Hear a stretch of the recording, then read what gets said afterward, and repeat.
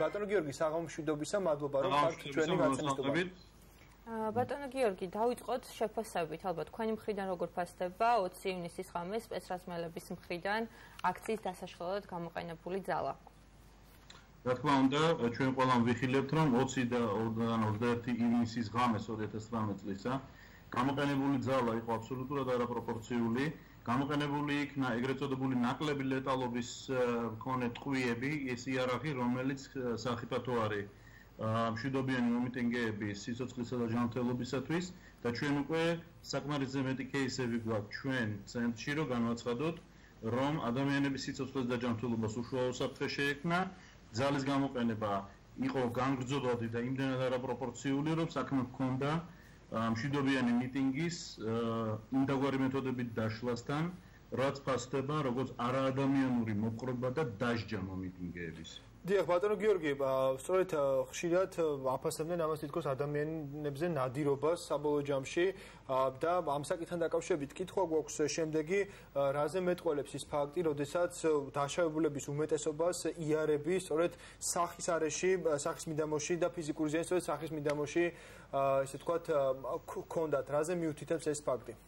ეს მიუთითებს არა მარტო აქ არ არის ლაპარაკი რაღაც ბანალურ არაპროფესიონალიზმზე აქ რამდენიმე ფაქტორი იყო შეიძლება იყოს ჩართული. მე როგორც წამბისხერთა რეაბილიტაციის ცენტრი ემპათიას წარმომადგენელი მაქვს პატივი შეგატყობინოთ რომ მრავალი ფაქტორი მოქმედებს. არსებობს ჩვენ საქმეში ისეთი რამ როგორც არის როგორც თქვი ბანალური არაპროფესიონალიზმი და არასაკმარისი ტრენირება შესაბამისი უწყების შიგნით. ანუ შინაგან სამართლის ბატონო კი ფაქტორი როგორიც არის? აა სადისტური ტენდენციები რომელიც ძალიან დიდი პრობლემაა ხო?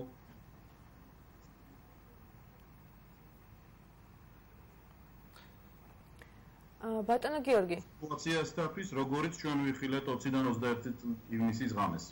დიახ ამ ყოველფრის ფონდში არსებობს ფაქტორები რომელიც დაკავშირებული არის უბრალოდ გაუცნობიერებლობასთან და ამ შემდეგ ბატონო გიორგი, რატომ დასჭირდა მაშინ სახელმწიფოს ასე დავსვათ კითხვა, რატომ დასჭირდა ამ ძალის გამოყენება და რატომ არჩია მოქალაქეებთან საუბრის ნაცვლად დიალოგის ამ ფორმის ძალადობის გამოყენება? ხო, აი ძალიან საინტერესო შეკითხვა არის, იმიტომ რომ მე ჩემს სიცოცხლეში არ მეგონა რომ დაახლოებით 30 წლის შემდეგ რა 9 აპრილი მოხდა ანდა თუნდაც 2001 წლის საპროტესტო აქციებზე, როდესაც თქვა თქვენ კოლეგების აი რუსთავის ტელეკომპანიის დარბევის ეპიზოდი იყო და ამ შემდეგ და ამ შემდეგ. მე უბრალოდ არ მეგონა რომ 30 წლის შემდეგაც 9 აპრილისა ჩვენ ვიდგებოდით იმ რეალობის წინაშე რომ პრაქტიკულად რუსთაველზე დარბეული იქნებოდა სასტიკი მეთოდებით შვიდობიანი მანიფესტანტები ა ძირითადად ის ადამიანები რომლებზეც დგას ეს სახელმწიფო ეს საზოგადოება, იმიტომ რომ ჩვენ სამისლებთა რეაბილიტაციის ცენტრებში, ცენტრში, ემპათიაში ვინც მოგმართავს, თქვენ რომ ნახოთ social mapping-ი, ანუ აი სოციალური რუკა თუ ვინ არიან დარბეულები, ну, უბრალოდ გაუცდებით. დიახ, ბატონ გიორგი, გარდა იმისა, თქვენ ახსენეთ რუსთავი, რომ ასევე იმედის ფაქტიც უნდა გავიხსენოთ, აუცილებლად 7 ნოემბრის ფაქტიც და ახსენეთ, ასევე ისიც არ იქნება და არ მინდა პოლიტიკურ დისკუსიაში შევიდე მე უბრალოდ რუსთავი და 1999 წლის 9 აპრილი ვახსენე იმ კონტექსში რომ დიდი ბოდიში მომთხოვია ჯუმბერ პატიაშვილი და კახაბერ თარგამაძე თუ კი ისე მოსაგონებელი მექნებოდა რომ აი ადამიანებს ეყოთ ვაშკაცობა და გადადგნენ მე არ მეგონა თანავედროვე საქართველოსში მაგრამ ჩვენ ყველანი ვიყავით მოწმენი რომ ჩვენ ყავს შინაგან საქმეთა მინისტრი რომელიც ამტკიცებს რომ მან უნდა გამოიწიოს თვითონ აი ეს ამდენად მიგაჩნია თქვენ ადეკვატურად. ფაქტია რომ დადგა გადაცდომის საკითხები. სინაგან საქმეთა მინისტრი რომელიც უკვე აცხადებს რომ ეს იყო ცალკეული გადაცდომები. მაგალითად მე შემიძლია გითხრათ რომ ჩვენთან შემოვიდა შესაბამისი წერილი საქართველოს გენერალური პროკურატურიდან სადაც გვატყობინებენ რომ სისხლის სამართლის საქმე არის აღძრული აა თბილისში რუსთაველის გამზირზე მიმდინარე მიტინგის დაშლისას საქართველოს შინაგან საქმეთა სამინისტროს ცალკეულ თანამშრომელთა მხრიდან ძალადობით სამსახურეობრივი უფლებამოსილების გადამეტების ფაქტზე. საქართველოს სისხლის სამართლის კოდექსის 333 მუხლის მესამე ნაწილის ბ ქვეპუნქტი.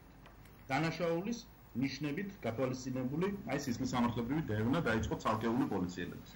ეს იმ რეალობაში, როდესაც ჩვენ არ გვეუბნებიათ, რომ ვინ გასა კონკრეტულად ამ სპეცოპერაციის ამ მეთოდებით დაწყების ბრძანება, თუ ვინ არის ამაზე პასუხისმგებელი. დიახ, ბატონო გიორგი, ამ ყოველთვის ფონზე. რეაბილიტაციის ცენტრი ემპათიას წარმომადგენელი, მე გიცხადებთ, რომ ეს არ იყო 333 მუხლის დარღვევა. ეს იყო 154 აა სეკუნდა და 154 პრიმა და სეკუნდა მუხლების დარღვევა. ეს არის წამება და ეს არის არაადამიანური ღირსების შემლახავი მოპყრობა და დაჟჯა. ბატონო გიორგი, კვალიფიკაციით ვაფასებ ჩვენ იმას რაც განვითარდა 20-დან 21 ივნისის ღამეს და ჩვენ ამაში დარწმუნებული ვართ. დიახ, ბატონო გიორგი, ამ ყოველფრის ფონზე იყო თუ არა კობახიძის გადადგომა და 10 სამართალდამცავისთვის პროფესიული საქმიანობის შეწყვეტა ადეკვატური პოლიტიკური ფასი იმ ყოველფრის გათვალისწინებით, რაზეც ახლა თქვენ საუბრობთ. პოლიტიკური ფასის იმისგან მე კი ფსიქიატრი ვარ და პროფესიული რასამთავრობო სამედიცინო საექსპერტო ორგანიზაციის წარმომადგენელი ვარ და თავს შევიკავებ, მაგრამ როგორც ამ საქმეში ჩახედული ადამიანი სამართლებრივად ეს უბრალოდ დამცინავი არის და სასაცილო არის. ირაკლი გობახიძის სავარძელის დატოვება და შემდეგ მისი მოვლინება კონსტიტუციის ახალი რედაქციის კიდევ უფრო ახალ რედაქტორად რადისონ ბლუვერიაში გუშინ იხილა საზოგადოება. რომ ადამიანი ადამიანი გადაჭდა ერთი სავარძელიდან მეორეში და გვეუბნება რომ ახლა რაღაც კიდე ახალი რედაქცია უნდა კიდე უფრო ახალი რედაქცია შემოგთავაზოს. თუმცა ბატონო გიორგი, ეს გადაწყვეტილებაც კი მიიღეს მხოლოდ და მხოლოდ მას შემდეგ, რაც საზოგადოება ყოველ საღამოს 7 საათზე იწყებდა საპროტესტო აქციებს. ანუ საზოგადოების ძალიან დიდი მობილიზება გახდა საჭირო იმისთვის, რომ ამ გადაწყვეტილებამდე მისულიყო ხელისუფლება. ეს ფაქტი რაზე მეტყოლებს და რას გზავნილებს გვიგზავნის? თავზე სამწუხაროდ მეტყოლებს, რომ 9 აპრილიდან 30 წლის თავზე სანამ ადამიანი განწარებული ადამიანები არ გამოვლენ ქუჩაში და არ მიუთითებენ საკუთარ ხელისუფლებას, რომელიც ძალაუფლების ტოტალიზაციისა და ძალაუფლების ტყბობით ტოტალურად არის შეპყრობილი, სანამ ის საზოგადოება, რომელიც ვეღარ იქნეს, არ მიუთითებს ჩვენ ხელისუფლებას, ისინი მინიმალური ადეკვატური ფილმის ფარგლებში ვერ ბრუნდებიან.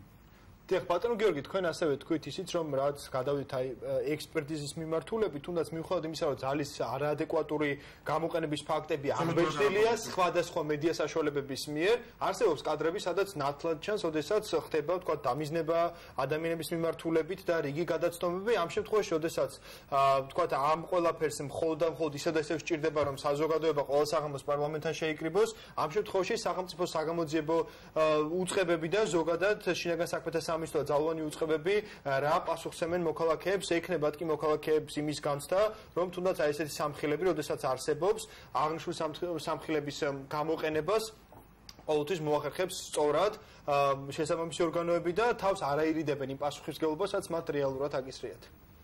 შეიძლება ძალიან ძნელია თქვენ შეკითხვაზე ახლა კონკრეტული პასუხის გაცემა, მაგრამ რა თქმა უნდა, მე გეთანხმებით საზოგადოებაში უნდობლობის მაღალი ხარისხი იქნება იმ სიტუაციისადმი, როდესაც შინაგან საქმეთა მინისტრია რჩება ადამიანი, რომელიც შეიძლება იყოს ამ ბრძანების გაცემი.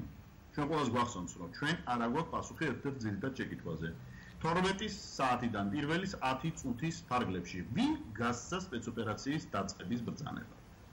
ჩვენ ამ შეკითხვაზე პასუხი ვერ გავიგეთ. ამიტომაც შინაგან საქმეთა მინისტრად რჩება ადამიანი, რომელიც შეიძლება პირდაპირაც იყოს დაინტერესებული, რომ გამოძიება არ ჩატარდეს, და ჩვენ გვჩება ის რეალობა, რომ აა ნდობა ამდაგვარად ჩატარებული გამოძიებისადმი არის მაქსიმალურად დაბალი. დიახ, ბატონო გიორგი, ამ ყოველფრის ფონზე ოფიციალური პასუხი რა თქმა უნდა არის ის, რომ ველოდებით გამოძიების დასრულებას და გამოძიება შეაფასებს ამ ყოველფერს, მაგრამ აუცილებლად უნდა კითხოთ იმ საპროტესტო აქციების მუხტის შესახებ, რომელიც უკვე ორი კვირაა გრძელდება და რომელიც არ ჩავარდინლა, შეგვიძლია ვთქვათ. რამ გამოიწვია საზოგადოების ასეთი ერთიანობა და განსაკუთრებით ახალგაზრდების აქტიურობა ამ დღეების განმავლობაში? თქვენ როგორ ფიქრობთ? იცით რა, მოთმინების ფიალას როცა აუსებ და განსაკუთრებით ძალიან მახსენდება მე ჩაკრულობდან სიტყვები. სულ წრილად მოგაკრეფინეთ რაც კი ნამ დაგიხესიათ. გაიუსო მოთმინების ფილ ჩვენთან ჩვენ პროფესიულ საზოგადოებაში კლინიკური ფსიქოლოგები და ფსიქიატრები ჩვენ ამას უძახით აფექტის დაგროვებას.